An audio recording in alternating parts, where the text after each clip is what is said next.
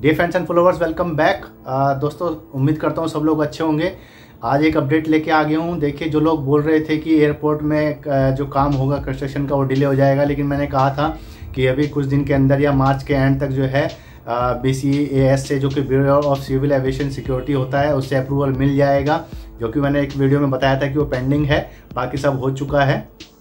तो देखिए, एक ऑफिशियल न्यूज़ अपडेट आई है कि आज उन्होंने जो है साइन कर दिया है लेटर ऑफ़ एग्रीमेंट जो होता है, जिसमें कि हम सब चीज़ें लिखते हैं कि क्या क्या होगा कैसे कैसे होगा।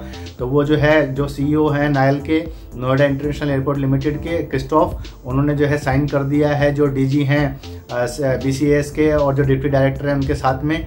तो ये अपडेट आपके साथ में शेयर करनी थी। मैंने कल बताया था कि मैं एक वीडियो बनाने वाला हूँ तो मैंने शूट कर ली है सेल डीड और जो है लीज डीड के ऊपर में, लेकिन मैं उसको जो है आज डाल नहीं पाऊँगा क्योंकि सुबह से थोड़ा सा बिज़ी रहा हूँ मैं कुछ काम से। तो कल आपको वो वीडियो मिल जाएगी दोपहर तक मैं वो डाल दूँगा। तो आप उसमें देख सकते हैं कि क्या क्या डिफरेंस होते हैं और थोड़ी सी लंबी हो जाएगी तो हो सकता है मैं उसको पार्ट में डालूँ एक पार्ट सुबह और एक शाम को डाल दूँगा।